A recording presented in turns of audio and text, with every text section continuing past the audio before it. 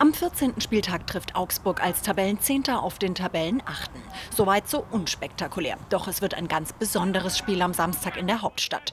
Trainer Markus Weinzierl trifft zum ersten Mal auf seinen Vorgänger beim FCA, Jos Luhukai. Aufgeregt?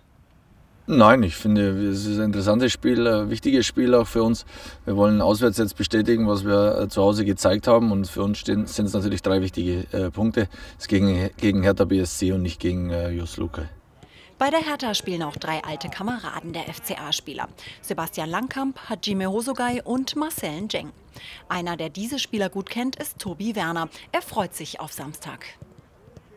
Wir haben ja einige Kollegen jetzt da oben. Ähm, nichtsdestotrotz ist es ein ganz normales Bundesligaspiel. Wir wollen auch endlich auswärts mal ähm, wieder gewinnen. Dazu sind wir absolut in der Lage, weil wir wirklich äh, in einer starken Verfassung sind und wir hoffen natürlich da unsere Ex-Kollegen ein bisschen zu ärgern.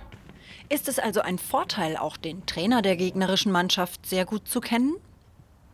Ja, ich glaube schon, dass wir wissen, was auf uns zukommt. Ähm, die Berliner spielen ähm, sehr hohes Angriffspressing, sehr offensiv, vor allem zu Hause.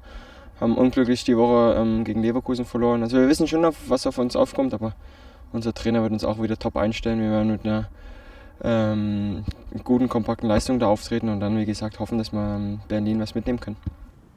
Wie schwer wird es also gegen die Hertha in der Hauptstadt?